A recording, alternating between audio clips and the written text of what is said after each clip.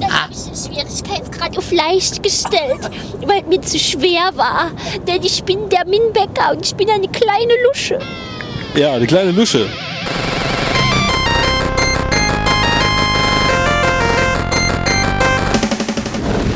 So viel hatte ich doch gezockt für die Nintendo Switch.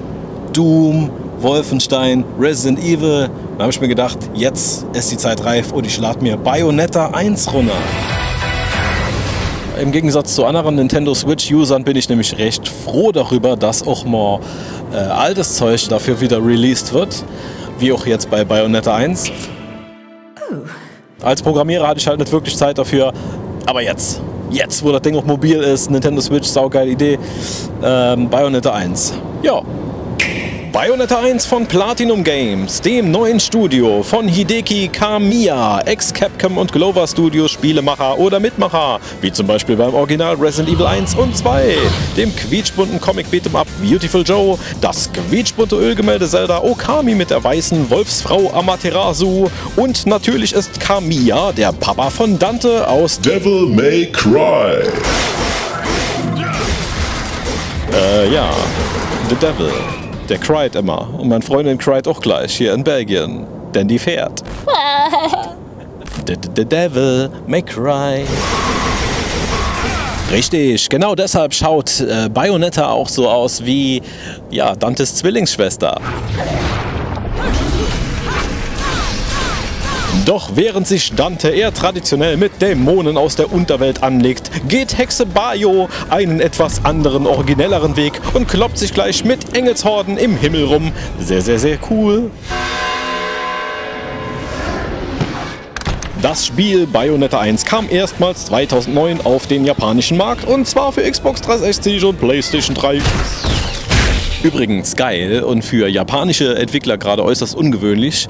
Äh, das Original kam für Xbox und die PlayStation 3 Version war schon ein Port. Ein paar Monate später dann auch hier bei uns in Europa und in den Staaten und überall sonst wo.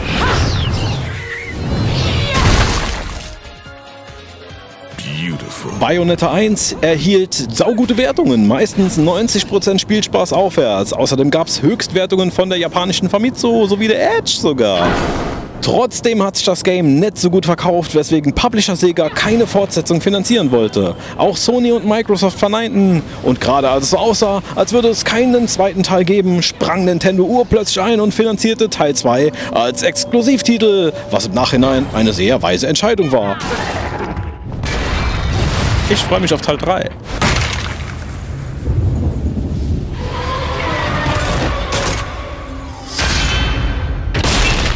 Der kommt für die Switch exklusiv, ja. Naja gut, aber wir schwätzen jetzt heute über den ersten Teil, gerade weil ja Nintendo eigentlich immer mit dem zweiten Teil und jetzt auch mit dem dritten Teil in Verbindung gebracht wird.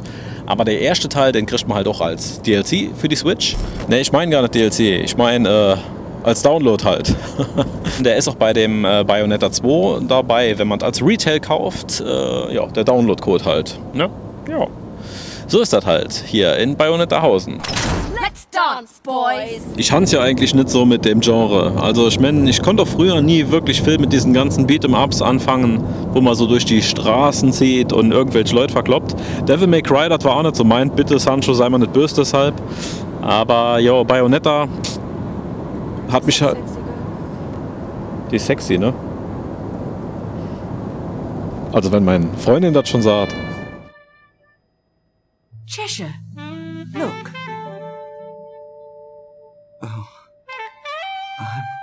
Looking. Aber jetzt nochmal zurück zum Thema. Bayonetta. Ähm, jo, Bayonetta hat mich halt schon damals gereizt, weil ich halt schon immer so ein Hexen-Fan war. Bull Deshalb bin ich auch mit der zusammen. Äh, Bullet Witch zum Beispiel für die Xbox 360 fand ich ziemlich cool. Wie ich im letzten Video gesagt habe, auch wenn das jeder scheiße fand. Ich fand das geil. Und äh, Bayonetta ist halt noch ein Stückchen geiler. Ne? In vielerlei Hinsicht.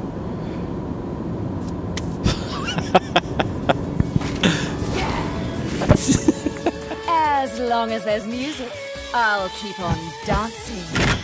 Ah. Naja, Bayonetta, ne? Bayonetta ist so ein Hex, so ein Umbra-Hex. Die hüpft die ganze Zeit durch die Welt und tut, was ihr gefällt. Nee, Bayonetta ist echt der Wahnsinn. Die hat, äh, Mein Gott, die hat voll die Moves drauf, ey. Und die hat halt so, Ja, Omi. die bewegt sich megamäßig schnell. Die nicht die Auto. Was für eine Oma? Die, Die hat uns vorbei ist. Die Oma bewegt sich nicht schnell. Nee, Bayonetta. Bayonetta bewegt sich in Lichtgeschwindigkeit. Das wird dargestellt durch die Witch Time. Da verlangsamt sich alles und ihr könnt äh, Kombos machen und draufschlagen, was das Zeug hält. Das ist der Wahnsinn. Bayonetta kann ihre Haare verformen und zwar zu Waffen oder zu irgendwelchen Dämonen, die sie beschwört, wie Gomorra aus der Hölle, äh, die halt Unterstützung leisten, während sie ihre Gegner foltert. Quasi so Finishing Moves. Äh, sehr cool. Auch, dass sie dann nackt ist, während sie ihre Haare verformt.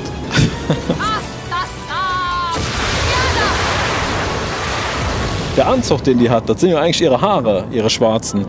Gibt doch irgendwie einen Fachausdruck dafür, der nennt sich Hexenflechten. Hexenflechten, ja.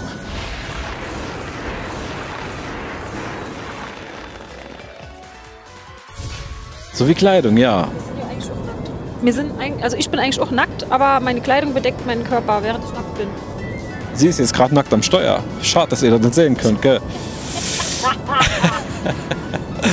ja, so ist das hier bei Blackbecker TV. Die hat so, so Schusswaffen und so an den Schuhen. An den Schuhen hat die die. Nicht nur an den Schuhen Schießwaffen, die hat Schießeisen auch an den Händen, in den Händen. Ja, schon ziemlich cool alles. Macht schon Spaß. Also, ja. Ich muss ganz ehrlich sagen, für mich so aus dem Ego-Shooter-Sektor war das am Anfang doch eine Umstellung, ne? weil ich dir echt gewohnt bin, dass ich doch volle Kontrolle habe, wie bei so einem Ego-Shooter halt. Und bei Bayonetta, da dachte ich immer, das ist alles so mehr dem Zufall hinterlassen. Ist es gar nicht, ist es gar nicht, ist es gar nicht. Bayonetta ist sau schwer, aber immer fair. Also wenn man sich darin steigert und das Ganze wirklich auswendig lernt und dem Spiel auch wirklich eine Chance gibt, dann kann man es echt meistern. Gab einen Stell, so nach Kapitel 5 oder 6 von, ich glaube insgesamt 15 Kapitel hat das Spiel. Äh, da habe ich den Schwierigkeitsgrad von normal auf leicht gestellt. Oh mein Gott, Shame. Was war passiert? Da kam ein Gegner, der war halt zu krass drauf. Da bin ich 5, 6 Mal, habe ich nochmal länger, noch öfters, habe ich wiederholt und bin immer wieder drauf gegangen. Fünf, sechs Mal, du armes Baby. Ja. Ich weiß, was jetzt kommt. Ich weiß, was du denkst. Ja, ich denke an Black Becker. Okay, das werden wir nicht überleben. Und das ist mit dieser verfickten Scheiß-Munitionsknappheit hier gerade. Habe ich den Schwierigkeitsgrad auf leicht gestellt, weil mir zu schwer war. Denn ich bin der Minbecker und ich bin eine kleine Lusche. Ja, die kleine Lusche. Kinder, ich habe den Schwierigkeitsgrad umgestellt auf leicht.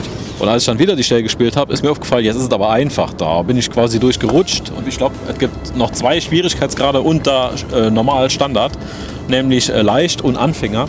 Und das war jetzt leicht. Äh, ja, ähm, war sehr leicht. Man hätte vielleicht noch irgendwie einen Schwierigkeitsgrad machen müssen, der zwischen leicht und normal ist. Das wäre optimal gewesen. Aber nachdem ich dann das Kapitel beendet habe, dachte ich, oh, das ging jetzt aber wirklich wie Kino war das doch. Irgendwie ging alles wirklich von selbst. Und ich habe einfach nur ein paar Knöpfchen gedrückt. Sogar Button-Mashing ähm, ging. Fand ich blöd.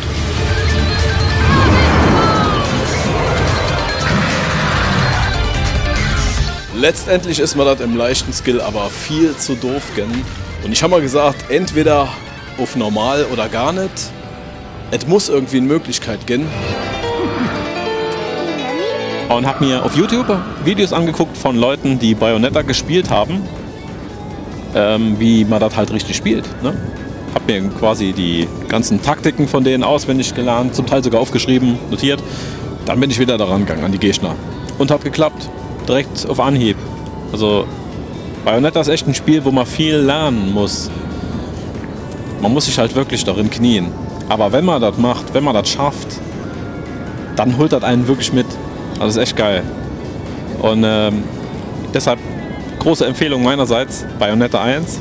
Auch wenn es grafisch halt äh, schon sehr überholt aussieht. Ja, ich glaube, also ich meine, ja, es sieht schön aus, ja, aber für die ganzen Technik-Freaks da draußen, die würden sich wahrscheinlich daran stören, dass das Spiel nicht über äh, 720p geht, sogar nicht mal auf dem Fernseher.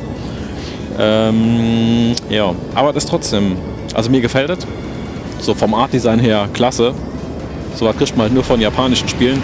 Und apropos japanische Spiele, da steckt so viel Herzblut drin. Und es fühlt sich so sehr nach Sega an. Ja, also ich rede jetzt nicht davon, dass überall diese ganzen Ringe rumspringen wie bei Sonic, sondern auch das ganze Spielgefühl ähm, hat mich so krass an, an sowas wie Sonic Adventures schon erinnert. Das, irgendwie ist das so, ein- so ein Sega-Feeling, was gerade auch bei Bayonetta 1 vorhanden ist. Ja, kauft es euch. Bayonetta. Wir sehen uns wieder, wenn es wieder heißt, Min Becker reviewed irgendetwas. Ciao.